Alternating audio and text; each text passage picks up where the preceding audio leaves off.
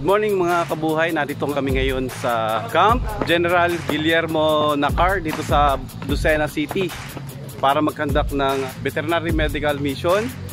And guys, kasama natin ngayon si Doc Philip.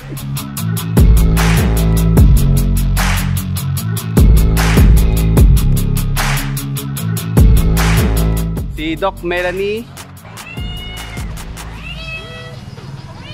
Si Doc Riquizo. First time? Ah, lagi siyang lagi nadidiwag.